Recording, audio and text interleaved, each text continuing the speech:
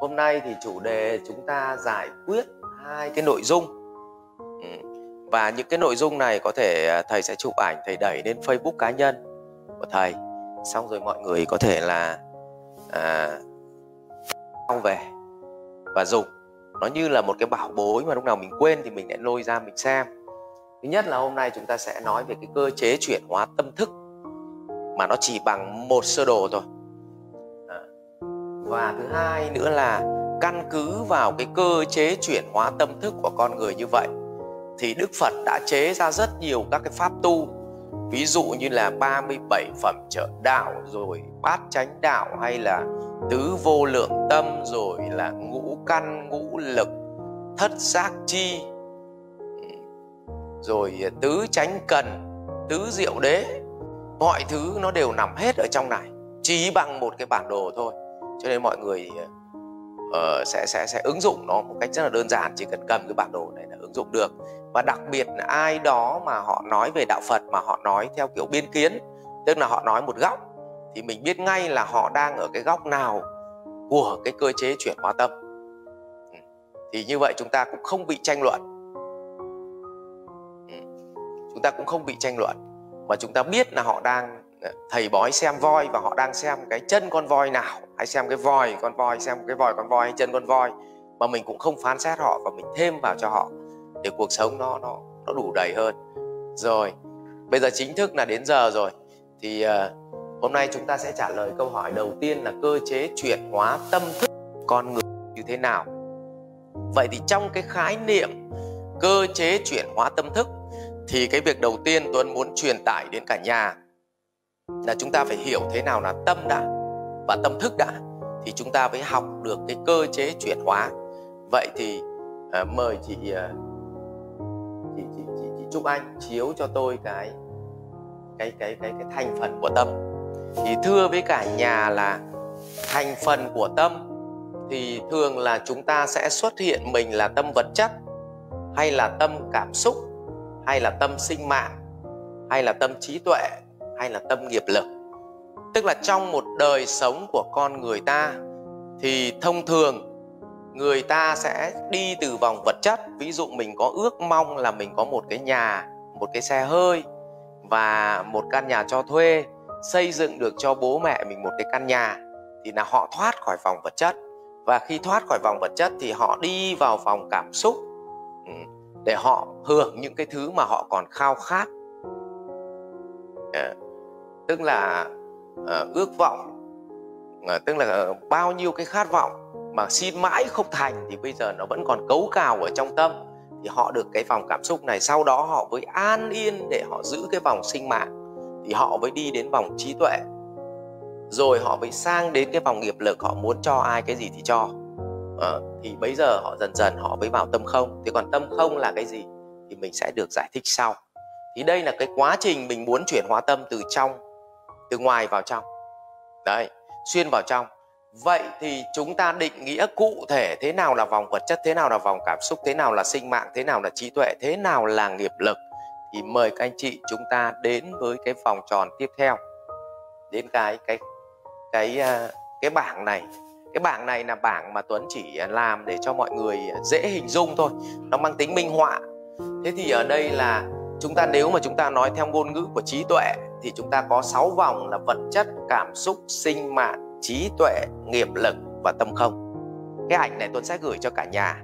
Nhưng nói theo ngôn ngữ nhà Phật thì chúng ta chứa, cái tâm của chúng ta chứa hàm lượng là tham, sân si, mạng nghi.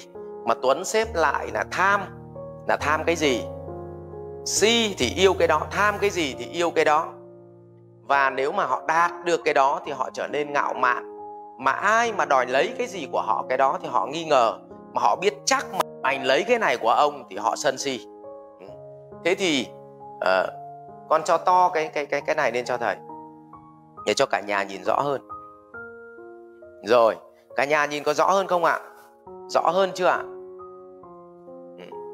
Cả nhà nhìn rõ hơn không ạ? Rồi thế thì nguyên tắc là nếu mình ở vòng vật chất ý, thì thường là mình sẽ tham tiền bạc tham vật chất. Cứ cái gì tức là biểu hiện của tham tiền bạc ở đây tham không có nghĩa là mình cứ phải ăn cắp của ai đó mà mình đúng nghĩa là ham thì đúng hơn. Tức là à, khi mà cùng một cái thời gian giả sử bây giờ vừa phải đi thăm bố thằng bạn ốm vừa phải về nhà xem bố mẹ mình có khỏe không vừa là ngày hôm nay ký một cái hợp đồng để nó tiền thì nguyên tắc là họ sẽ ở lại cái việc nào mà sinh ra tiền thì họ sẽ lựa chọn là tối ưu. Thứ hai nữa si là họ yêu tiền bạc và vật chất hơn. Ừ, họ sẽ yêu tiền bạc vật chất hơn vì họ ở vòng vật chất. Thứ ba là họ ngạo mạn.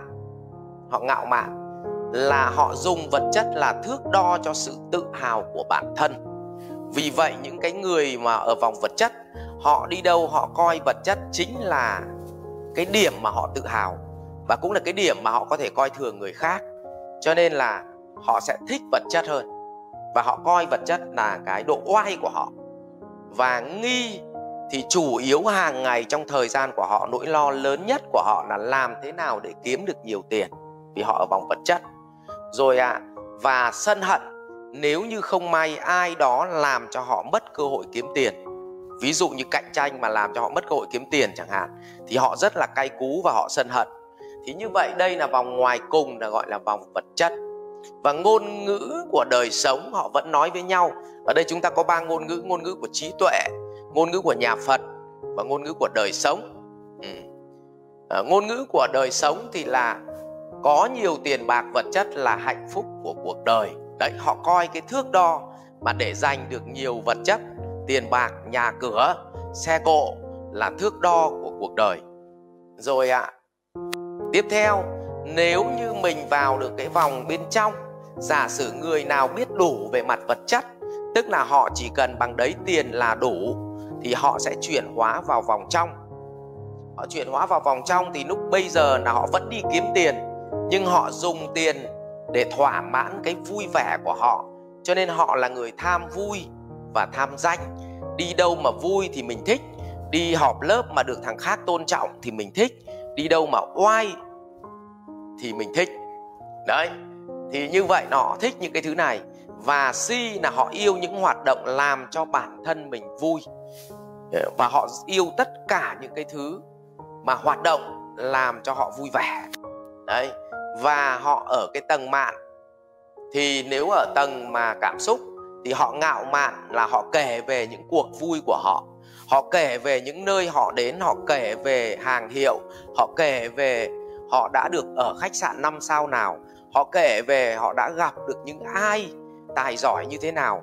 Tức là họ khoe về những thứ, họ sĩ diện về những thứ ăn chơi và danh hão thì cái này là bị cái bệnh này của nghi. Và họ sân hận nếu ai bị chê bai hoặc làm tổn thương đến họ, cho nên mẫu người này sáng nắng chiều mưa. Ví dụ buổi sáng mà mình khen họ xinh gái, thì họ rất yêu quý mình. Nhưng đến buổi chiều bảo hồi này chị tăng cân à thì họ ghét mình ngay. Vì nó rất ghét những cái hoạt động mà làm tổn thương đến cảm xúc của nó. Thì đây là cái tầng này là tầng của của cảm xúc. Và hạnh phúc của họ, theo ngôn ngữ đời thường, là được sống vui vẻ, phóng khoáng sĩ diện, oai phong, đó là hạnh phúc. Vì vậy họ bảo là có tiền chưa đủ, nhưng có tiền phải sang, có tiền phải oai, có tiền phải được người khác tôn trọng, thì đấy mới là hạnh phúc. Và họ dừng ở vòng cảm xúc. Nhưng nếu một người nào tĩnh tại, thì họ lại chui tiếp được vào đến vòng trong là vòng sinh mạng. Vòng sinh mạng thì họ lại ham những thói sinh mạng chính là việc là thói quen kỷ luật ăn uống sạch sẽ ngủ nghỉ đúng giờ việc giờ nào việc nấy thì cái đấy là gọi là người ở vòng sinh mạng. Thì họ lại thích những cái thứ kỷ luật bản thân và thói quen. Thói quen tốt ăn uống sạch sẽ. Và thứ mà họ yêu thích là gì ạ? Những cái hoạt động thể thao những cái bữa ăn nó lành mạnh và à, những cái kỷ luật nghỉ ngơi khoa học. Cho nên ông này mà thằng nào mà làm vỡ kỷ luật của nó nó rất là ghét. Ví dụ đến 10 giờ tối mà nhà nó mà đi ngủ rồi mà mình đến chơi 10 rưỡi mà mình vẫn còn ồn ào mình chưa chào mình về là lần sau mà đến chơi là nó cực kỳ ghét. Cho nên là mẫu người này họ tập trung vào vấn đề khoa học ăn nghỉ. Ừ. và cái ngạo mạn của họ là họ dùng trải nghiệm à, họ gì ạ?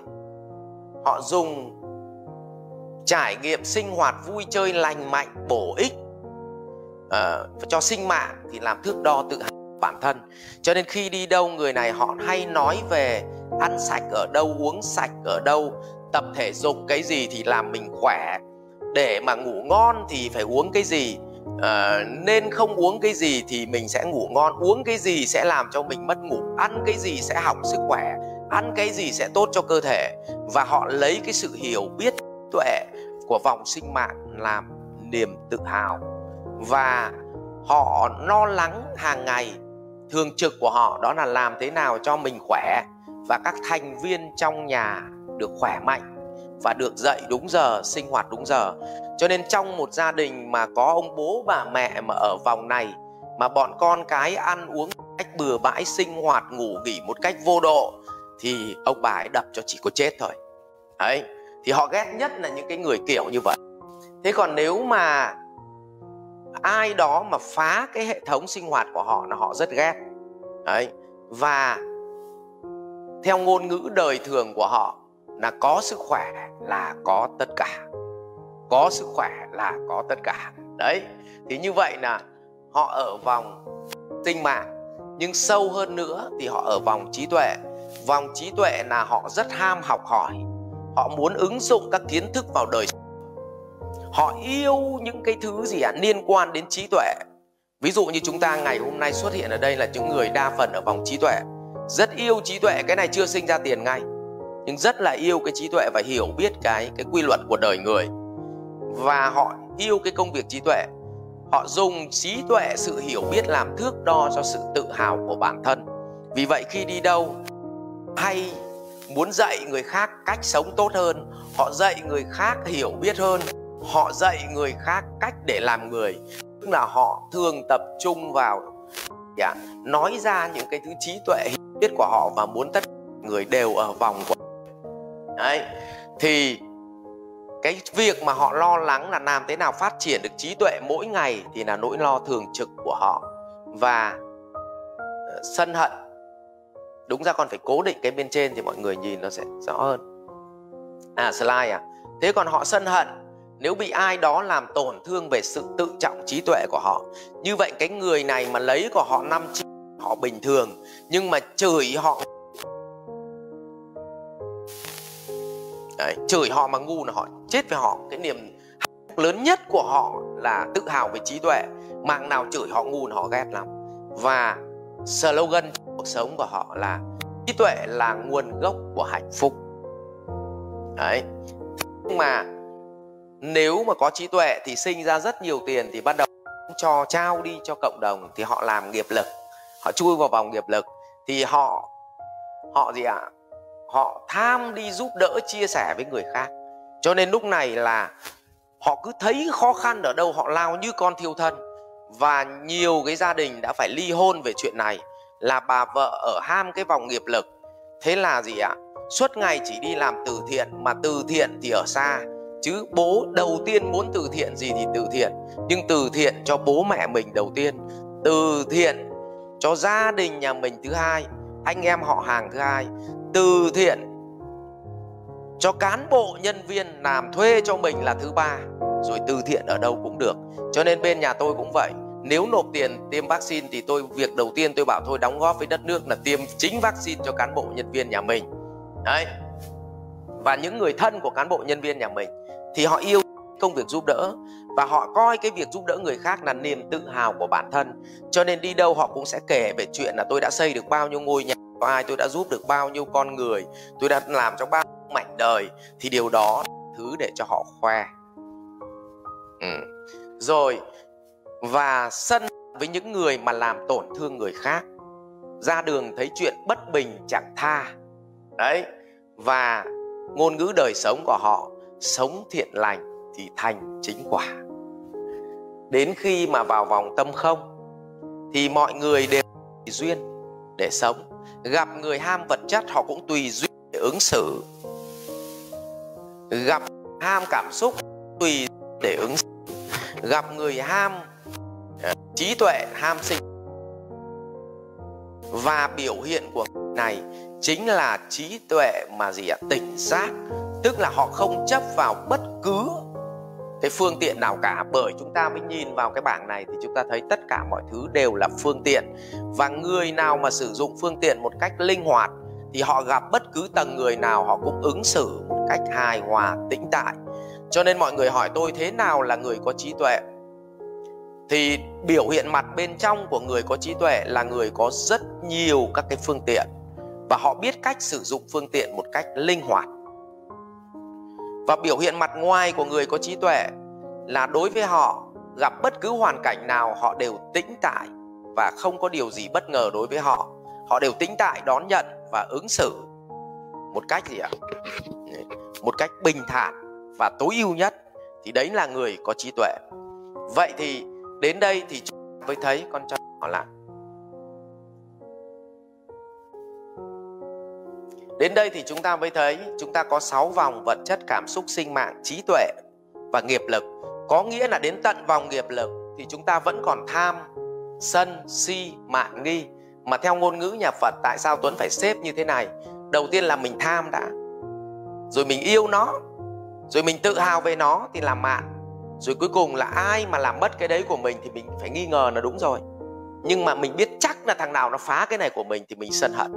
Còn đến vòng tâm không là tùy duyên. Tức là tâm bất biến giữa dòng đời vạn biến.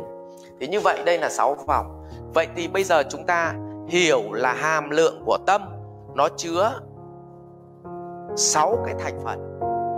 Sáu vòng là gì ạ? Vật chất sinh mạng à vật chất cảm xúc sinh mạng trí tuệ nghiệp lực và tâm không bản chất tâm không là nó bao hàm mà một người trải qua cả năm vòng trước rồi thì họ là trở về tâm không. Cho nên là dù là bạn là vòng nghiệp lực nhưng đôi khi bạn vẫn còn tham đi làm từ thiện bạn vẫn còn si mê cái việc làm từ thiện bạn vẫn còn tự hào về việc làm từ thiện tức là ngạo mạn. Và ai đó mà gì ạ? À, phá cái việc mà à, mà mà làm từ thiện của bạn. Hoặc là gì ạ? À, hại cái việc làm từ thiện của bạn là bạn cay cú. Và nếu mình biết chắc là ai làm tổn thương cái việc từ thiện của mình hoặc làm hại người khác là bạn sẽ sân hận dẫn tới là bạn dễ bị sân si ở cái đoạn này. Rồi như vậy thì chúng ta quay trở lại cái câu chuyện tiếp theo để chúng ta xem cái thành phần của tâm là tâm thức. Đấy. Thế thì cho to cái vòng tâm thức này lên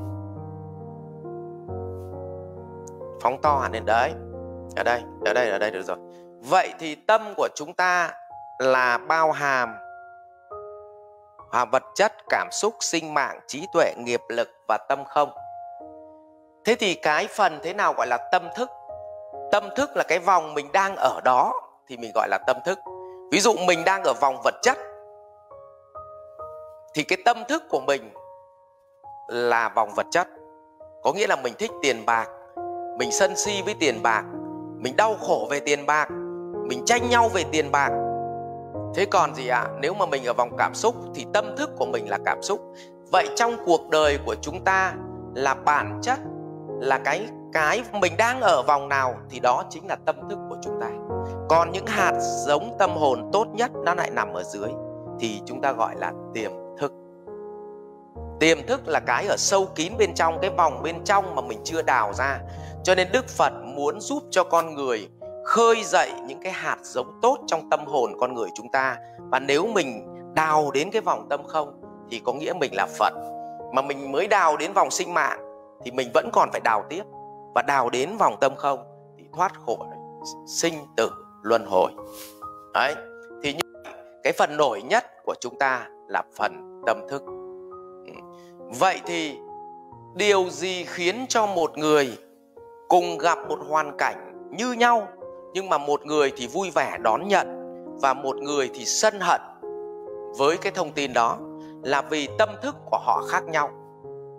Con kéo xuống. Kéo xuống. Thì tuấn đưa ra cái thất thức, con đưa nhỏ lại. Ừ. Thì tuấn đưa ra cái thất thức là sống trong đời sống thì họ luôn mang lại tất cả những giá trị cho chúng ta và như đặt trên một đĩa ăn vậy. Cái thứ mà họ mang đến đầu tiên trong xã hội họ mang đến cho mình đó là học thức. Nếu mình được, được đi học thì gọi là học thức. Nhưng trong cái học thức mà chúng ta học thì bản chất người mà chỉ lấy được cái bằng đại học mà không biết làm việc thì người ta gọi là người đấy có học thức. Chứ người ta không gọi là người có thực tiễn và trong cái học thức, tóm lại học thức là biểu hiện bạn đã từng đến trường đó. Còn bạn làm được hay không thì chưa chắc. Nhưng trong cái học thức, nó lại đau khổ là có hai cái hàm lượng. Một là hàm lượng kiến thức và hai là hàm lượng tri thức. Tri thức vốn dĩ không phải do con người sáng tạo ra. Tri thức là những quy luật của đời sống, của vũ trụ, của con người mà chúng ta chỉ là người phát hiện ra thôi. Ví dụ đức phật là người phát hiện ra tri thức. Và khi mà ngài đã chứng ngộ cái tri thức đấy, thì được gọi là tri thức của ngài. Nhưng tri thức là của vũ trụ, mà mình chỉ là người biết đến tri thức. Tức là không có mình, thì tri thức ấy vẫn tồn tại. Còn kiến thức là những cái mà chương trình mà chúng ta được huấn luyện học tập, nó chỉ mang tính thời điểm thôi. Nó đúng ở lúc này nhưng không đúng ở lúc cũng lúc khác, mà nó do con người sáng tạo ra. Tuấn lấy ví dụ kỹ năng bán hàng là một loại kiến thức. Vì kỹ năng bán hàng ngày hôm nay dùng được nhưng ngày mai có thể đã bị sai rồi vậy cho nên là với có cái câu chuyện là anh phạm nhật vượng bảo khởi nghiệp thì đừng có suy nghĩ nhiều. Nhưng anh khác thì bảo là khởi nghiệp thì phải tính toán cho nó kỹ. Vậy thì những cái thứ đó nó là kiến thức. Vậy thì cùng một cây nhưng có thể cái cành này nó khác, cái lá kia nó khác. Thì như vậy nó chỉ khác nhau. Vậy thì cái kiến thức là do loài người sáng tạo ra. Còn tri thức là quy luật bất biến của đời sống. Mà tri thức nó chính là cái gốc cây còn cái kiến thức nó là quả và quả nó sẽ thay đổi theo thời gian. Nhưng vì con người ta vô minh, cho nên người ta không đi học tri thức trước, mà người ta cứ đi học kiến thức. Dẫn tới cả cuộc đời này, người ta đọc không biết bao nhiêu cuốn sách, mà người ta vẫn không thể nào mà hiểu hết được cái quy luật vận động của cuộc sống. Và họ cứ lúng túng, họ đi nhặt từng cái cá một. Thì như vậy là kiến thức và tri thức. Thứ hai là giá trị sống thì tất cả được bày lên trên đĩa. Nhưng do tâm thức của chúng ta khác nhau, cho nên có những thứ mà người này mong muốn, người khác không muốn. Tôi lấy ví dụ. Đều được rủ đi uống rượu. Thì nếu một người ở vòng sinh mạng, thì người ta đón nhận nó không thích. Nếu mà ở vòng cảm xúc nhận tức nó đã gật rồi. Đấy. thì họ gật ngay. Nếu một người ở vòng cung, nhưng nếu một người ở vòng trí tuệ thì họ sẽ đón nhận rất là hạnh phúc. Nhưng nếu một người mà ở vòng vật chất thì họ bảo từ mai đừng biếu sách tao quy ra tiền cho tao. Nếu mà cô vợ mình ở vòng vật chất mua hoa về tặng thì cô ấy cho. Nhưng cô vợ mình ở vòng cảm xúc mua hoa về tặng. À, thì cô ấy rất là thích. Vì vậy, là tâm thức khác nhau thì họ sẽ chọn thức ăn khác nhau. Vậy thì ở đây là nếu tâm thức khác nhau thì sẽ có thứ mà họ mong muốn và không mong muốn khác nhau. Và cái nào mà mong muốn thì nhận thức họ tự tiếp nhận vào. Còn cái nào mà không mong muốn thì phải dùng ý thức thì họ phải tiếp nhận. Ví dụ đi học. Mà mình ở vòng vật chất mà bắt mình đi học thì phải ép mới đi nhưng nếu mình ở vòng trí tuệ mà cho tặng một khóa học, thì họ thích, trời ơi, họ thích lắm cả nhà nghe không được ạ à? có nghe được không cả nhà ơi à. cả nhà có nghe được không ạ à? cả nhà có nghe được không ạ à?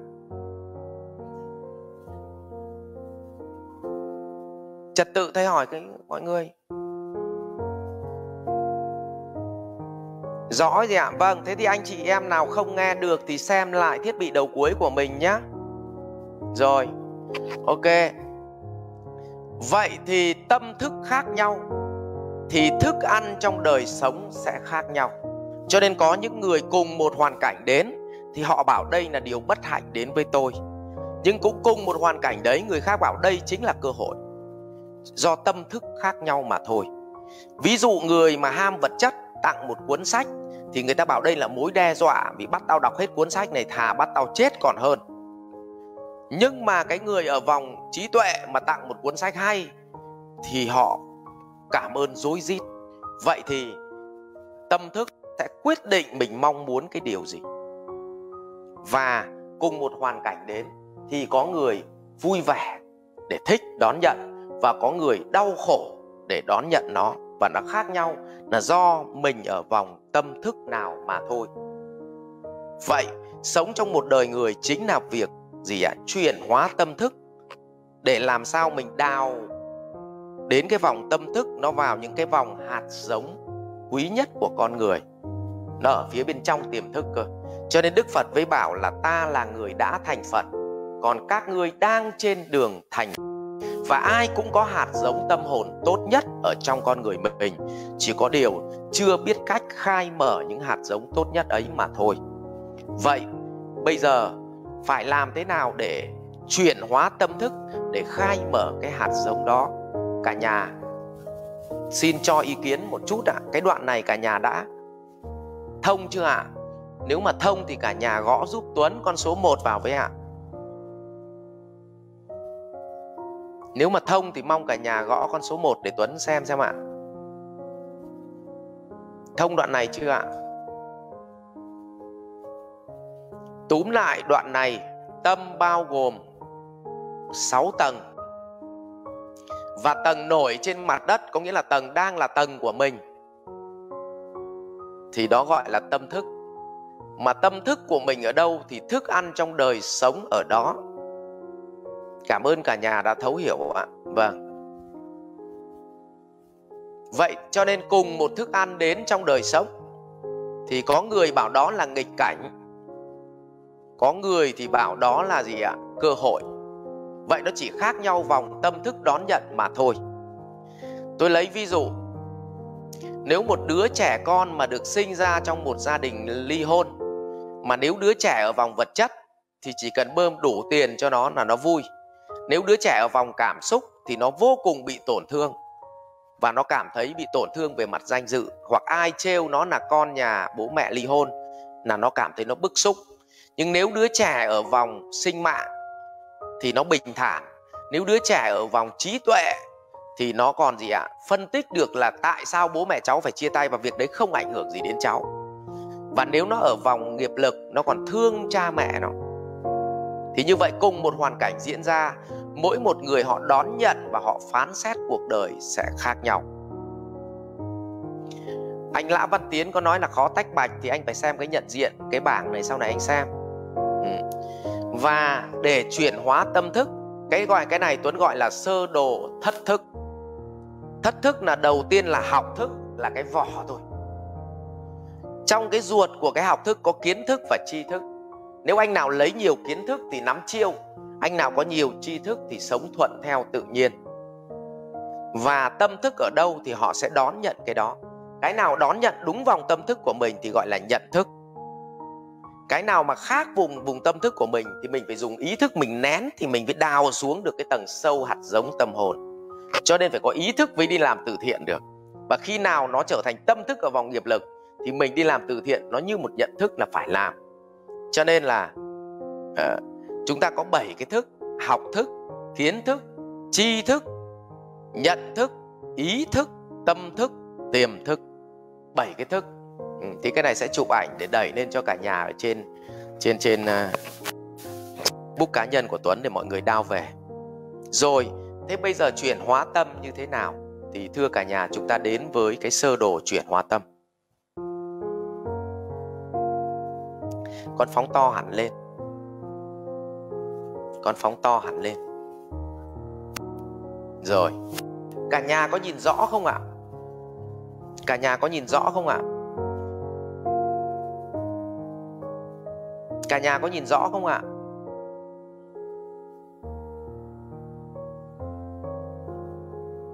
Vâng. À, tuấn bắt đầu tích ạ.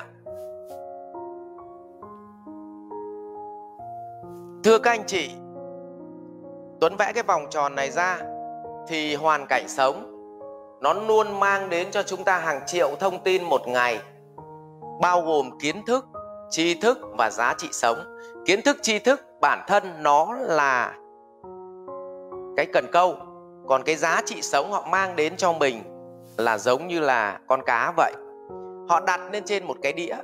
Cái đĩa này gọi là đĩa kiến thức, tri thức và giá trị sống nhưng do tâm thức của mỗi người khác nhau có những thứ họ mong muốn và không mong muốn thì bắt đầu nếu cái nào đúng mong muốn và đúng cái vòng tâm thức của họ thì họ đón nhận thông qua nhận thức một cách rất tuyệt vời vào ầm âm mà chúng ta hay gọi là người có nhận thức đấy. Thì họ chuyển hóa thành cảm xúc. Vì vậy cũng nhìn thấy một cô gái khỏa thân à, mà anh nào mà ở cái vòng cảm xúc tức là vòng si mê còn máu gái thì ngay lập tức là anh ấy cảm thấy sung sướng sung sướng. Nhưng mà nếu anh nào ở vòng tâm thức mà ở vòng trí tuệ rồi thì anh bảo là ui rồi nhìn cái này không được nhìn cái này thì tu tập làm sao? Thì anh ấy bịt mắt đi. À, che đi và anh đón nhận một cách gì ạ? À? tĩnh tại chứ anh ấy không nhảy cổ cổ lên. Vậy là cùng một hoàn cảnh thì ở vòng tâm thức nào thì nó sẽ chuyển hóa thành cảm xúc và bản chất tâm của chúng ta nó gồm hai mặt. Cái mặt bên trong chính là tham sân si, mạn nghi hay chúng ta gọi là sáu vòng. Và biểu hiện ra mặt bên ngoài khi gặp một hoàn cảnh thì nó biểu hiện thành cảm xúc. Chính vì vậy, người ta với gì ạ? Bán hàng người ta nhìn cảm xúc để đọc được suy nghĩ của họ. Họ đưa cho họ tiền mà họ vui thì chứng tỏ là họ ở vòng vật chất đưa cho họ cuốn sách mà họ vui thì họ ở vòng trí tuệ. Tuấn lấy ví dụ như vậy. Thế thì khi nó chuyển hóa thành cảm xúc vậy thì trong đời sống luôn luôn cung cấp cho ta các cái thông tin khác nhau có cả thứ mình muốn có cả thứ mình không mong muốn. Nhưng nguyên tắc cứ cái gì mình muốn và mình thích à, tâm thức nó thích thì nó chuyển hóa thành cảm xúc. Và trong cảm xúc này nó chia thành các cái tầng bậc là sung sướng vui thích tĩnh tại hồi hộp lo lắng, đau khổ, sợ hãi. Mà các anh chị hay gọi là vui buồn đấy. Ừ. thì nó chuyển hóa thành cảm xúc. Nhưng mà từ tâm thức nó chuyển hóa thành cảm xúc auto nó chuyển tu nó chuyển. Mình mà máu gái mà thấy cô gái mà cô ấy biếu mình một đêm là auto nó vui auto nó hồi hộp, mình không thể đỡ được. Hỏi lúc ý dùng cái gì để đỡ không đỡ được. Vì tâm thức của mình ở phòng đó và muốn mà nhìn thấy phụ nữ mà mà khỏa thân mà không thích nữa thì bắt buộc phải chuyển tâm thức. Còn nếu nếu giữ nguyên tâm thức thì đảm bảo auto là thích ừ. rồi, và khi cảm xúc khác nhau, thì ngay lập tức nó sẽ chuyển hóa nội tiết tố. Và nội tiết tố căn bản nhất trong con người là enzyme men và hormone. Enzyme nó như cơ chế khóa mở men và và hormone. Ví dụ, khi mình nhìn thấy đồ ăn mà mình ở vòng gì ạ? Vật chất mình tham ăn chẳng hạn. Thì khi mà mình nhìn thấy một bữa ăn ngon, họ bê mâm ra, tức là hoàn cảnh nó cung cấp cho mình, thì âu dãi nó chảy ra.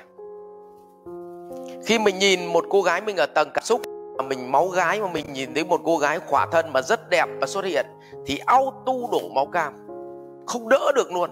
Đấy, thì nó thay đổi toàn bộ nội tiết tố.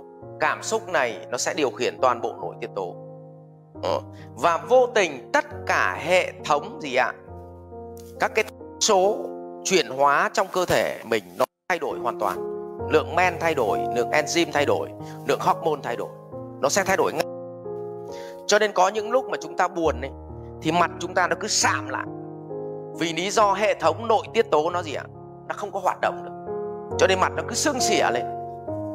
Cười chăng nữa thì nhìn mặt nó vẫn thấy sưng, chứ không thể nào mà mặt nó mềm như nó vui được. Còn cái lúc mà vui thì không cười, thì người ta cũng thấy anh vui. Vậy, nó sẽ chuyển hóa thành nội tiết tố. Và anh nào giữ được cái nội tiết tố này ổn định, thì anh lại đè ngược lại cơ chế của cảm xúc. Nhưng mà nội tiết tố này thì nó lại điều chuyển toàn bộ khí. Cho nên khi mà mình gặp một hoàn cảnh, chú nào vác dao chém, đó là nghịch cảnh. Thì nó sẽ xuất ra cảm xúc là sợ hãi. Và khi sợ hãi, thì lượng hormone và enzyme nó sẽ tiết ra theo kiểu khác. Và ngay lập tức khí của mình sẽ hổn hển. Hay chúng ta gọi là thở gấp. Thở gấp sẽ hổn hển ngay lập tức. Đấy và biểu hiện hỗn hển nhiều nhất là các anh chị cứ giao lưu với vợ con nhiều là các anh chị thấy ngay. Là khí nó, khi mà cảm xúc nó nên nội tiết tố nó thay đổi, bảo thở chậm thôi, vợ nó bảo thở bé thôi, hàng xóm nó nghe thấy, thì vẫn cứ phì phò thở hồn hển thở mà không đỡ được. Thì nó điều khiển toàn bộ khí. Nhưng mà khí, nó lại điều khiển toàn bộ suy nghĩ của chúng ta. Bản chất, ở trong suy nghĩ này, bản chất nó là trí tuệ mà trong trí tuệ này của chúng ta là nó có một kho tri thức và kiến thức mà mình đã được học. Tuy nhiên đến lúc này, suy nghĩ là cơ chế điều khiển để lấy kho tri thức ra dùng. Nhưng khi mà nó thoát khí của nó bị loạn, thì suy nghĩ bị mất, tức là hệ thống điều khiển kiến thức bị mất. Cho nên dẫn tới họ làm việc bằng bản năng mà không làm việc bằng toàn bộ những cái kiến thức, trí tuệ mà họ đã được học. Cho nên khi mà cảm xúc lên thì mọi thứ mà chúng ta đã được từng học trong quá khứ, không dùng được. Không dùng được này. Đấy. Thì suy nghĩ nó mới quyết định hành động. Nó mới quyết định hành động. Mà hành động này có thông minh hay không? Thì nó nằm ở cái cách lựa chọn kiến thức nào để dùng, để ứng dụng. Và nó sẽ ra hành động. Và hành động xong nó mới bổ sung kết quả vào trong tâm thức thì cái vòng này Tuấn đang nói là chuyển hóa từ nhận thức mà quay về đến kết quả để bổ sung vào tâm thức. Thế thì trong cái cái khí của chúng ta thì nó xuất hiện ba cái luồng khí căn bản là mình thở gấp hay điều hòa hay hụt hơi. Nhưng mà trong suy nghĩ của chúng ta thì lúc bấy giờ chúng ta có tối ưu được nó không, có làm nó không, có nhanh không hay chậm, hay là việc này quan trọng hay không quan trọng. Nhưng đến khi từ đấy nó mới chuyển hóa thành hành động là chúng ta cần tiết kiệm. Làm cái việc này cần phải tiết kiệm, làm cái việc này cần nỗ lực, làm cái việc này cần cố gắng hay chỉ cần hời hợt, nó sẽ biểu hiện toàn bộ ra thành hành động. Như vậy, tâm thức nó đi một vòng, nó chuyển hóa thành cảm xúc, chuyển hóa nội tiết tố, chuyển hóa thành khí, chuyển hóa thành suy nghĩ và thành cách làm, thành hành động. Và cuối cùng, kết quả nó bổ sung vào tâm thức và từ cái kết quả nó bổ sung vào tâm thức thì nó lại bổ sung ngược trở lại kho trí thức. Cho nên lần sau vẫn giao cho nó cái việc đó thì nó nhận một cách rất là nhanh chóng. Nhưng lần một bao giờ nó cũng hơi sợ lần nó từ từ. Rồi. Vậy thì tiếp theo chúng ta mới đặt câu hỏi. Vậy thì làm thế nào để khơi dậy cái hạt giống tâm hồn ở vòng trong cùng? Thì có những thứ đến với chúng ta chúng ta không có mong muốn. Nhưng bắt buộc chúng ta phải dùng ý thức ý thức. Ví dụ chúng ta không có muốn làm từ thiện, nhưng phải dùng ý thức để làm. Chúng ta không có muốn đọc sách, nhưng chúng ta phải dùng ý thức để đọc. Chúng ta không muốn là phải bỏ những cuộc vui uống rượu. Chúng ta cũng không muốn là phải sinh hoạt kỷ luật. Chúng ta cũng không muốn ăn nhiều rau, ăn ít thịt. Nhưng chúng ta phải dùng ý thức để mà làm được việc này. Nhưng sau khi làm cái này, chúng ta thấy nó có cái kết quả tốt hơn thì nó lại bổ sung vào, có kết quả nó lại bổ sung vào trong kho tri thức của chúng ta. Và tự nhiên, chúng ta làm toàn bộ những hạt giống tâm hồn này, tốt nhất này, nó trở thành tâm thức. Và làm lại đi làm lại nhiều lần và nó có kết quả tốt. Tự nhiên thấy cuộc đời nó an yên hơn, nó hạnh phúc hơn, nó trí tuệ hơn. Thì tự khắc, cái vòng này nó sẽ nổi lên, nó thành tâm thức. Và bắt đầu những cái vòng vật chất cảm xúc bắt đầu nó lu mờ đi. Như vậy chúng ta thấy, muốn khi mà có nghịch cảnh đến, hoặc là chúng ta thấy một việc chúng ta chưa thích mà muốn làm, bật cái hạt giống tâm hồn trong này lên, thì chúng ta phải dùng ý thức để làm. Mặc dù ta không thích, nhưng rồi chúng ta làm dần, chúng ta sẽ có kết quả tốt, thì chúng ta sẽ đánh thức cái tiềm thức. Nhưng cũng có thể mà khi chúng ta từ thiện rồi nhưng mà lại nhận được kết quả nó tệ, thì có khi vô tình chúng ta lại giết chết tiềm thức tức là chúng ta bảo, từ với thiện cái mẹ gì? Hôm trước đi làm từ thiện, xong bị chửi trong một trận. Bây giờ bố không đi làm nữa. Tự nhiên đang yên đi lành, đi, đang đang yên, đang lành, tưởng làm từ thiện, đời sống nó an yên hơn. Hóa ra nó lại bấn loạn, thì cuối cùng lại giết chết mất cái hạt giống tốt nhất trong cơ thể trong tâm hồn mình. Cho nên dùng ý thức với làm bật được toàn bộ cái hạt giống trong tâm hồn mình, đánh thức cái tâm thức trong tâm hồn mình. Như vậy, đây chính là một cơ chế luân chuyển từ tâm thức sang cảm xúc, sang nội tiết tố, sang khí, sang suy nghĩ, sang hành động. Tâm thức ở đâu thì nó sẽ chọn thức ăn ở đó, cho nên cảm xúc của nó sẽ khác nhau, nội tiết tố khác nhau, khí khác, suy nghĩ khác nhau, hành động khác nhau. Và những người mà người ta gọi là cùng tầng bậc là những người cùng vòng tâm thức. Cho nên tâm thức là dẫn đầu. Nếu tâm thức thì nó tự chuyển hóa thành cảm xúc. Nhưng nếu chỉ cần mình cắt đi một trong các cái đoạn này nếu là một cái cảm xúc tiêu cực mình ngắt đi một trong các đoạn này thì ngay lập tức cái vòng tròn nó sẽ được giải phóng. Ừ. rồi ạ à, vậy đây là quá trình chuyển hóa và để chuyển hóa đánh thức những hạt giống tâm hồn bắt buộc phải dùng ý thức và lao động một cách gì ạ? Cật lực nhất, trách nhiệm nhất để nó ra kết quả thì nó sẽ đánh thức được tiềm thức và toàn bộ cái kho tri thức và kiến thức sẽ được tập hợp ở đây mà chúng ta gọi là niềm tin cũ. Sau khi một việc nó đến thì cái suy nghĩ nó mới móc cái niềm tin cũ này ra nó dùng. Thì họ phải dám nhận việc này hay không dám nhận việc này. Họ tin là mình làm được hay không tin làm được còn cái cái tâm thức nhá. Suy nghĩ là gì ạ? Tin là làm được. Còn cái thân này là gì ạ? Khỏe để mà làm được. Đấy, thì chúng ta nhìn thấy ở đây này. Vòng tâm và vòng cảm xúc chính là vòng tâm. Tâm thức là cái bên trong, cảm xúc là biểu hiện của bên ngoài. Cái nội tiết tố và khí là phần thân. Nội tiết tố là phần bên trong, khí biểu hiện ra ngoài. Phần tuệ là suy nghĩ là cái bên trong, hành động là biểu hiện ra ngoài của trí tuệ. Cho nên ở đây, cái này là chuyển hóa tâm, thân, tuệ. Tâm, thân, tuệ. Vậy ba này nó liên quan đến nhau như răng với môi. Và chỉ cần một anh bị đứt quãng, thì quá trình chuyển hóa tâm thức của chúng ta bị thất bại. Và đây là chính là việc tu nhầm của đức phật. Đức Phật dùng 6 năm tu khổ hạnh để làm triệt để cái phần thân này đi. Nhưng vô tình Ngài đã gì ạ? Cắt đứt cái vòng chuyển hóa thức cho nên mãi Ngài không tìm được về tận đến tâm không. Và sau này Ngài mới hiểu phải giữ cái nội tiết tố này ở trạng thái trung bình, tức là trung đạo. Còn nếu ăn ngon béo phì, nhiều bệnh tật thì đảm bảo khí nó sẽ loạn, khí loạn thì tư duy sẽ bị gì? Bấn loạn và không thể nào có trí tuệ để mà thay đổi tâm thức này được. Như vậy chúng ta hiểu được toàn bộ cái vòng chuyển hóa tâm thức. Bây giờ, đến pháp tu như thế nào của đức phật liên quan đến vòng chuyển hóa tâm thức này? Thì con cho nhỏ lại. Thì trong cái tu để mà thay đổi tâm thức, thì à, có ba cái pháp tu chính.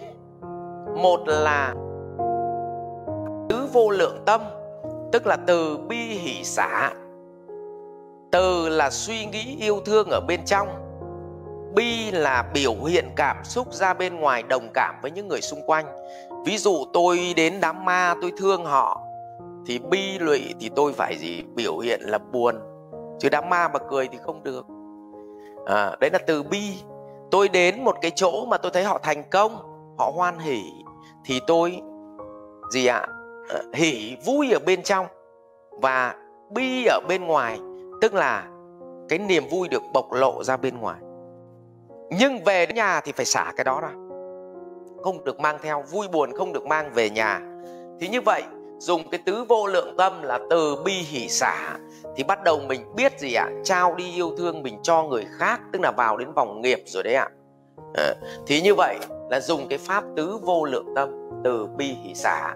Mà hình ảnh này bên đạo Phật đại thừa là lấy hình ảnh Bồ Tát ra để làm một cái minh chứng đại diện cho pháp tu từ bi hỷ xả. Còn đối với người thông thường thì chúng ta đi học tập những tri thức, tức là phải học tập những quy luật của cuộc đời. Chứ còn nếu học kiến kiến thức là chủ yếu là để kiếm ăn thôi. Và có một phần nữa gọi là thiền quán tâm trên tâm thì chút nữa Tuấn sẽ nói, đó là thiền tứ niệm xứ. Tiếp theo, cái pháp tu thứ hai mà tu cái cảm xúc để giữ được cảm xúc, tức là quán thọ trên thọ. Tôi vui, tôi biết tôi vui. Tôi buồn, tôi biết tôi buồn. Tôi đau khổ, tôi biết tôi đau khổ. Tôi sợ hãi, tôi biết tôi sợ hãi. Như vậy là tỉnh giác. Như vậy là tỉnh giác và tu tiếp theo là tu để giữ cho các thông số của cơ thể. Nó được ổn định như lượng mỡ máu, như là huyết áp, như là nhịp tim, như là nhịp thở, như lượng đường, uric trong máu, vân vân. Đó là những thông số mà chúng ta hay đi khám bệnh. Thì phải giữ được cái thông số này ở dạng điều hòa nhất trong cơ thể mình. Thì muốn vậy, hai pháp tu mà chúng ta dùng, ba pháp tu mà chúng ta dùng một là giữ giới. Giữ giới đó là kỷ luật bản thân. Chúng ta phải ăn ngủ một cách khoa học. Đừng vì cảm xúc mà làm mất đi cái khoa học ngủ nghỉ của bản thân. Thứ hai là chế độ sinh hoạt là liên quan đến ăn uống đấy ạ. Ăn nhiều rau xanh lên, ăn ít thịt đi. Thì cơ thể của mình nó đỡ bệnh tật thì nó giữ được cái thông số mà Đức Phật đưa ra pháp tu giữ giới chính là việc điều tiết toàn bộ hệ thống thông số của nội tiết tố trong cơ thể mình. Và một pháp tu nữa là thiền quán thân trên thân. Tức là cái này gọi là thiền chữa bệnh. Thiền chữa bệnh. Thì có pháp tu thiền chữa bệnh. Pháp tu gì ạ? Mà chúng ta gọi là tu tịnh độ đấy ạ. Nó liên quan đến ăn uống và giữ giới đấy ạ. Nhưng cũng là ở góc này thôi pháp tu thứ ba để điều khí trong cơ, điều hòa. Thì chúng ta có pháp tu là thiền tâm sổ tức hoặc thiền quán tâm tùy tức. Còn hai cái loại thiền này như thế nào? Thì sau này đi học thiền, có dịp thì thầy sẽ chia sẻ cùng với cộng đồng. Đấy, thì có thiền tâm sổ tức và thiền tâm tùy tức. Còn đối với hệ thống pháp thì mình phải quán pháp trên pháp còn đối với hành động, đối với hành động, thì bắt đầu mình có ba cái pháp tu. Nhiệt tâm, làm cái gì, thì thân ở đâu, tâm ở đó. Tỉnh giác là mình đang thích việc này hay mình không thích việc này. Mình thích việc này mà tại sao mình không nỗ lực mình làm? Thì mình tỉnh giác để mình cố gắng hơn. Chánh niệm là trong lúc mình đang làm một việc này dở dang thì bỗng nhiên tâm thức của mình trong cái đĩa thức ăn này nó lại mang đến một thứ tốt hơn. Thì có khi mình lại bỏ dở việc này. Mình đi làm việc khác mà người ta gọi là đứng núi này, trông núi nọ. Tôi lấy ví dụ. Mình quyết tâm vào công ty của thầy Tuấn để học. Để nâng cao trí tuệ. Quyết tâm lắm rồi. Chạy đến vòng hành động rồi. Nhưng bỗng nhiên ngày mai thằng bạn nó bảo mày qua công ty tao làm. Mức lương bây giờ gấp 4 lần cái chỗ mày làm thì ngay lập tức cái chỗ chánh niệm này bị gì thành tà niệm. Mà ngay hôm sau xin phép thầy là nhà em có việc đột xuất nên em lại nghỉ. Em lại sang kia em quay. Em lại quay lại từ đầu này này. Thế đến khi mà đang làm cho công ty thằng bạn, thì bị thằng bạn nó chửi nhiều quá, thì lại gặp một thằng bạn khác bảo thôi về tao làm, cho nó vui không bị chửi đâu. Thì tâm không tránh niệm lại chạy và xuất hiện kẻ mà gì ạ? Nhảy việc lung tung nhưng cuộc đời thì cũng bấn loạn. Thì cái này gọi là chánh niệm. Như vậy chúng ta có các cái pháp tu như sau. Tỉnh nhiệt tâm, tỉnh giác, chánh niệm là dành cho hành động. Có pháp tu gì ạ? Học tập tri thức, tứ vô lượng tâm để thay đổi tâm thức, đánh thức cái vòng tâm thức này lên. Có thiền quán thọ trên thọ để nhận diện cảm xúc của mình. Có thiền gì ạ? Có cái việc mà thiền quán thân trên thân để kiểm tra sức khỏe của mình và thông số khí của mình trong cơ thể. Tuy nhiên, còn có một cái nữa mà muốn vậy thì gốc rễ là phải giữ giới do chế độ ăn uống sinh hoạt. Thiền khí thì liên quan đến tâm tùy tức hoặc là tâm sổ tức. Và suy nghĩ thì có quán pháp trên pháp. Và đức phật làm cái việc mà thiền quán thân trên thân, quán thọ trên thọ, quán tâm trên tâm và quán pháp trên pháp mà làm đồng thời để cân bằng cái này, thì đức phật gọi là tu gì ạ? Thiền tứ niệm xứ. Và bản chất, trong một đời người tìm ra cái sai của mình, thì bắt đầu từ việc thân của mình có gặp vấn đề gì không? Nếu thân của mình gặp vấn đề về sức khỏe, thì mình biết ngay cái tâm thức của mình tham ăn, tham uống. Cho nên thân của mình nó có vấn đề như thế này. Cho nên họ điều chỉnh tâm, tức là quán tâm trên tâm, thì bắt đầu bỏ qua cái tham nam ăn uống này đi. Thì bắt đầu quán cái pháp trên pháp là bắt đầu suy nghĩ, hành động lại, là từ mai điều chỉnh chế độ ăn uống. Còn quán thọ trên thọ là khi mà mình vui sướng với cái gì đó thì mình biết ngay tâm thức của mình ở vòng nào. Và dùng quán tâm trên tâm để định nghĩa xem mình đang ở vòng nào. Và muốn vào vòng trong thì biết từ chối những cái món ăn của vòng tâm thức ngoài.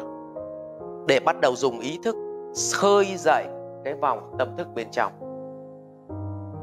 Sau khi quán tâm trên tâm như vậy thì nó ra được quán pháp trên pháp, gọi là thiền tứ niệm xứ. Như vậy trong cái này có hết các cái pháp tu, tứ niệm xứ, tứ chánh cần, tứ vô lượng tâm, ngũ căn, ngũ lực, ngũ căn là gì ạ? Ngũ căn tiếp nhận thông tin từ hoàn cảnh sống vào thông qua tai, mũi, lưỡi, thân. Đấy. ngũ căn, ngũ lực. Rồi bát chánh đạo. Bát chánh đạo thì đi như thế này. Đầu tiên là tránh kiến. Tránh kiến. Tránh kiến tức là mình phải xác định mình đi ở vòng nào. Và mình ăn thức, ăn nào thì mình dùng ý thức để mình chọn cái tránh kiến. Sau khi có tránh kiến rồi thì đến tránh tư duy. Tránh tư duy là chọn cách làm và tinh tấn lại làm tránh tư duy tránh tinh tấn. Sau khi tránh tư duy tránh tinh tấn xong thì toàn bộ phần thân là tránh ngôn tránh mạng tránh nghiệp. Đúng không? Xong bắt đầu là gì ạ? Tránh niệm. Tránh niệm là phải điều khỉnh chỉnh được cái cảm xúc của mình. Đừng vì tham lam đừng vì vui vẻ mà buông. À, cũng đừng vì đau khổ mà lùi thế thì chánh niệm xong, thì bắt đầu là khi nó ra được kết quả thì mình trở thành định. Định xong nó lại thay đổi được tâm thức của mình. Đấy. Chánh niệm xong thì nó lại truyền thành gì ạ? Tâm thức, đánh thức cái tiềm thức của mình nên lại trở thành chánh định. Như vậy chúng ta nhìn thấy bát chánh đạo cũng chạy đúng một vòng ngược lại như thế này. Hay là thất giác chi cũng nằm ở đây. Đầu tiên là trạch pháp giác chi, tức là chọn cách làm đúng. Chọn cách làm đúng, tức là đi vào tâm thức nào đúng xong rồi là tinh tấn giác chi. Không xong gì ạ? Ờ, à, khinh an giác chi xong hỉ giác chi xong xả giác chi xong niệm giác chi xong rồi định giác chi. Ấy thì tất cả đều giải quyết toàn bộ các khâu ở đây. Ừ. thì không có pháp tu nào chạy khỏi ở đây cả.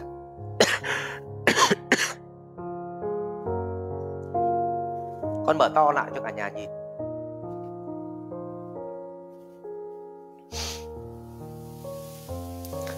Pháp tu nào thoát cái vòng này cả.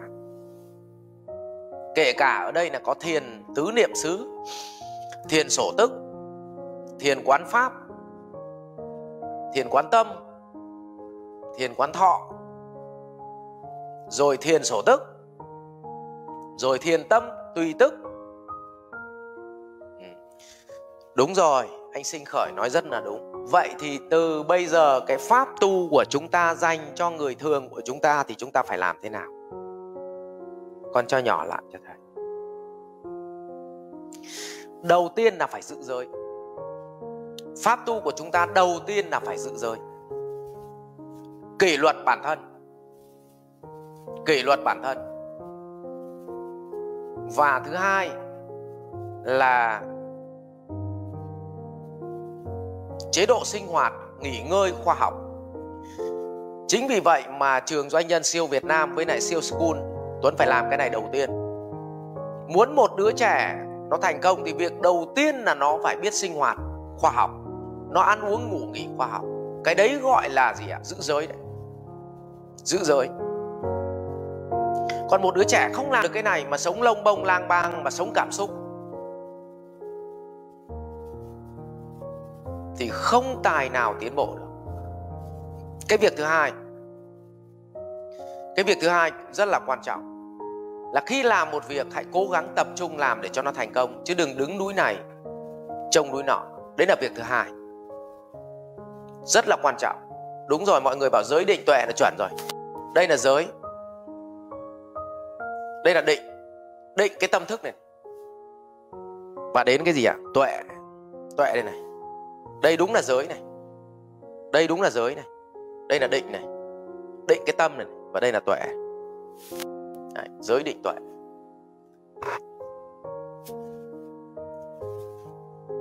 Kỷ luật bản thân.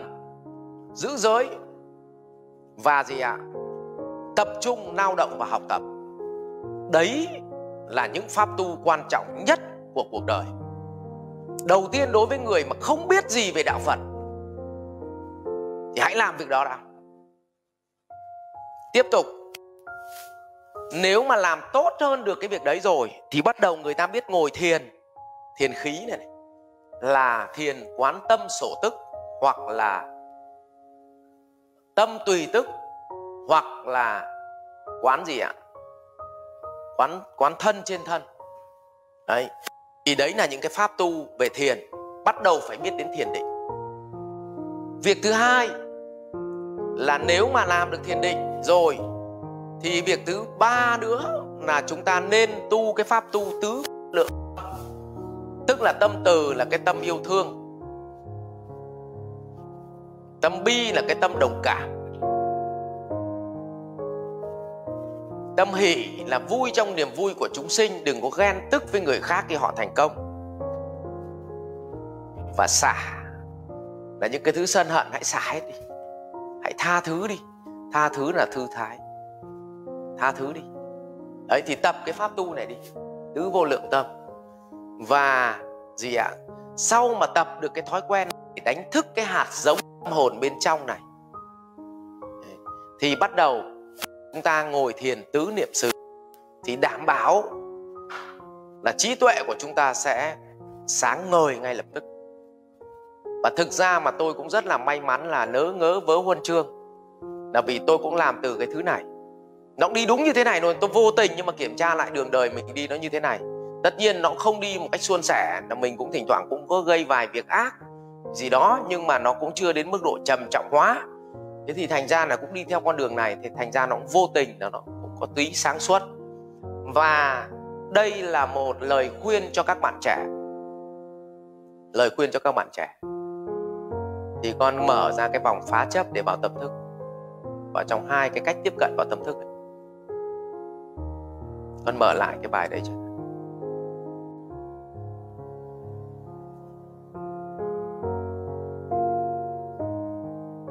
ừ. thế à vậy thì ở đây, con mở cái vòng sáu vòng các bạn trẻ thì họ hay đi chuyển hóa tâm thức là họ chuyển từ vòng ngoài vào trong. Tức là họ nhảy vào vòng vật chất và cảm xúc rồi đến sinh mạng, đến trí tuệ, đến nghiệp lực. Thì đi như thế này một nghìn năm không vào trong được. Bởi vì nếu nhảy vào vòng vật chất, tức là vừa cầm cái bằng đại học ra, đi làm, và ngay lập tức là nhảy vào vòng vật chất luôn, thì có nghĩa là chú đi làm nhân viên và chú không nâng cấp trí tuệ. Thì mức lương của chú chỉ 10 đến 20 triệu thôi và như vậy một nghìn năm không bao giờ được thỏa mãn cái cảm xúc, không bao giờ mua được cái ô tô đẹp, cái nhà đẹp, cái đồng hồ đẹp, cái quần áo đẹp, thì không bao giờ nhảy được vào vòng sinh mạng trí tuệ và nghiệp lực được. Mình còn chưa thỏa mãn mình, thì lấy đâu mà đi thỏa mãn người khác được? Cho nên chú nhảy thẳng vào vòng vật chất và vòng cảm xúc là chú bị chết luôn ở vòng này, và hết một đời luẩn quẩn không ra được thế một cái người mà họ tỉnh táo, thì họ dùng ý thức họ khoan ngay vào vòng sinh mạng và trí tuệ. Tức là ngay lập tức lúc trẻ nhá, họ đã giữ giới. Họ đã gì ạ? Họ đã giữ giới. Họ đã ăn uống khoa học, tập thể dục khoa học. Rồi việc thứ hai, thứ ba nữa là họ đã tập trung lao động một cách và họ tập trung tiền bạc để đi học thêm những cái thứ tri thức. Thế là nó chui thẳng vào vòng trí tuệ. Tức là có vòng sinh mạng nhá thì nó mới có trí tuệ. Cho nên sinh mạng trí tuệ là một cặp. Tâm, vật chất và cảm xúc là một cặp. Nghiệp lực và tâm không là một cặp. Nhưng mà sinh mạng và trí tuệ là một cặp thì người ta đi thẳng vào cặp sinh mạng và trí tuệ. Là người ta giữ giới làm lành, chịu khó bỏ tiền ra, đi học những cái thứ quy luật của cuộc đời thì họ chui thẳng vào vòng sinh mạng và trí tuệ. Và 10 năm sau họ lao động, thì khi họ vào vòng này thì số tiền nó lên kinh khủng nhiều và lúc bây giờ họ mới dùng vật chất, họ quay ra, họ phủ vòng vật chất, phủ vòng cảm xúc. Họ lại phủ được nốt vòng nghiệp lực nữa. Thì có khi chỉ 60 năm thôi là họ đã đi hết được 6 vòng rồi. Còn nếu kẻ nào mà mới cầm tấm bằng đại học ra trường, chưa có tí kiến thức, chưa có tí trí tuệ nào, mới có học thức thôi, tức là có cái bằng mà nhảy thẳng vào, bổ vào vòng vật chất. Một nghìn năm cũng không bao giờ đi vào vòng trong được cho nên con nhà lòi họ đi theo cái cách mà họ ngay lập tức họ được giáo dục về về đời sống về kỷ luật. Tiên học lễ hậu học văn mà. À, xong rồi bắt đầu là họ đi học những cái thứ quy luật của cuộc sống học triết học. Học cái kiến thức như thế này này gọi là tri thức. Nó gọi là quy luật đời của, của, của cuộc đời. Thế xong bắt đầu là gì ạ? Họ cộng với kiến thức của họ thì bây giờ họ đi lao động bằng trí tuệ, mà lao động bằng trí tuệ thì ra rất nhiều tiền. Và khi có nhiều tiền rồi, họ quay lại, họ mua cái nhà thì đơn giản thôi mà. Họ mua cái xe thì đơn giản thôi mà. Có vài bữa đi ăn ở khách sạn năm sao thì có cái gì đâu, quá đơn giản. Còn kẻ nào mà gì ạ? Ước vọng thời thơ ấu, chưa xin được chút nào nên suốt đời khát khao ước vọng còn cấu cào. Tức là chơi luôn ở cái vòng vật chất và vòng cảm xúc thì cả cuộc đời không bao giờ đi vào trong được. Cho nên một bạn trẻ hãy dùng ngay từ cái thời mà mình bắt đầu đi học đại học học cấp 3 ấy, là chạy thẳng vào vòng sinh mạng cho tôi. Đến lúc ra trường đại học mất 5 năm phi vào vòng trí tuệ cho tôi thì lúc bây giờ bạn mới 20 năm tuổi thôi. Bạn đã có một đời sống khoa học. Bạn đã có trí tuệ để làm được mọi việc. Thì mất 10 năm sau, bạn sẽ phủ kín tất cả các vòng được. Chứ đừng cầm mỗi cái bằng đại học xong nó qua, nó quắc phi thẳng vào vòng vật chất. Mở mồm ra là lương em bao tiền mở mồm ra là là là em làm cái này thêm thì có có có được thêm tiền không? Thì không bao giờ chui được vào vòng trong. Và cả cuộc đời cứ luẩn quẩn với tiền bạc và cảm xúc, đau khổ. Và họ đi một cuộc đời vất vả quá. Nhân tiện đây tuấn cũng nói chia sẻ là nếu mà quan chức mà họ hiểu được những cái vòng này, thì bắt đầu là gì ạ? Họ có trí tuệ, họ có chức danh rồi. Xong tiền bạc họ giữ, họ chỉ cần, ví dụ như các bác mà có độ khoảng nghìn tỷ thì thôi, thì chỉ cần 200 tỷ đến 20 tỷ thôi cũng được. Đã đủ lắm rồi thế còn lại là gì ạ? Đi vào vòng nghiệp lực, giúp dân chúng đi. Đi vào vòng trí tuệ là nghĩ cái gì hay ho cho đất nước này đi. Thì sống cuộc đời nó có ý nghĩa lắm. Nhưng không được dạy cái này cho nên nhiều quan chức chí loay hoay ở vòng gì ạ? Cảm xúc Mr. White và tích lũy tiền. Xong đến khi bị bắt trọng ba cái đưa vào lò. Phí một đời được sống. Mà họ đều là những người có tài nhé nhưng không có đức. Phí. Nhưng nếu họ được nghe cái này, thôi thì dân thường nhà mình có 20 tỷ là thoát khỏi vòng trí tuệ. Thì các bác cứ có cho tham đi chăng nữa thì thì đến đến đến 200 tỷ là thoát khỏi vòng trí tuệ rồi. Đã khỏi khỏi vòng vật chất rồi. Thì là có 200 tỷ, còn từ đấy mà từ 201 tỷ trở đi là cứ thưa đồng nào mang đi giúp dân đồng đấy. Có trí tuệ đến đâu mà ngồi chỉ có nghĩ cách giúp dân thì nước Việt Nam mình làm sao mà không giàu có được? Cái đất nước này làm sao mà không phát triển học cái này. Hy vọng là các bác nào làm quan nghe được cái này thì giúp cho mình hạnh phúc giúp được mình giúp được người giúp được chúng sinh. Đấy. thì uh, chia sẻ cái vòng này với cả nhà. Từ đây uh, bây giờ thì muốn nghe cả nhà xem có hỏi thêm cái gì không? Có thắc mắc thêm cái gì nữa không? Thì chúng ta sẽ sẽ cùng nhau thảo luận ạ. Dạ.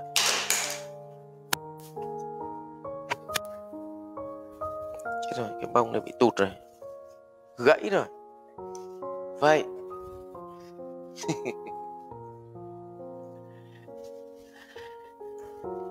À rồi cảm ơn cả nhà cảm ơn uh, cả nhà hy vọng là cả nhà dùng được, ứng dụng được vào đời sống. Thưa các quý vị, dùng 6 vòng của tâm thức để làm marketing. Biết được khách hàng của mình muốn gì, cần gì, thích gì, ghét gì sân hận điều gì. Không, xây dựng được trải nghiệm khách hàng. Biết được vợ mình ở vòng nào, thì tặng vợ mình cái gì? Nói với vợ mình câu gì thì vợ mình nó vui. Biết được bố mẹ mình ở vòng nào thì làm được những người xung quanh của mình vui. Và tôi nhắc là biết thì biết nhiều vậy thôi, nhưng ứng dụng cho nó khoa học. Phải vui trong niềm vui của chúng sinh. Nếu mình ở cái tầng bên trong rồi thì đừng khinh cái tầng bên ngoài. Không?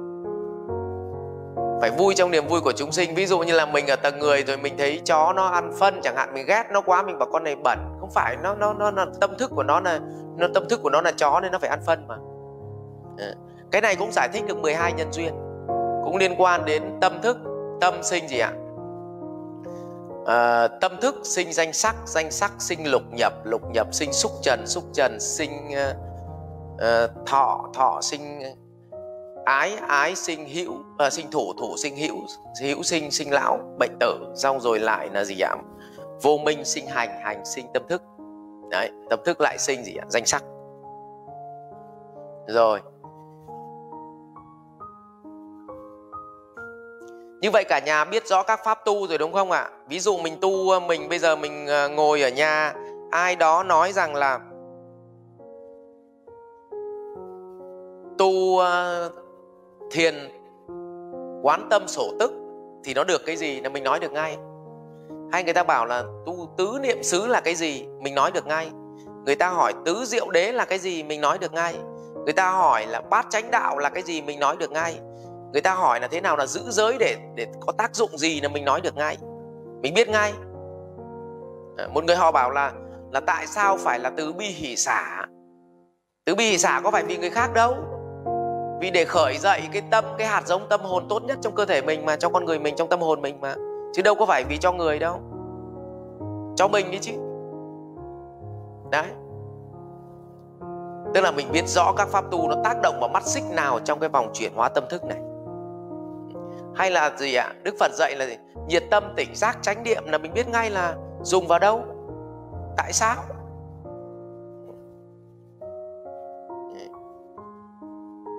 Bản chất mật tông thì cũng chỉ là đơn giản chỉ là là họ cài những cái neo của những cái gì ạ?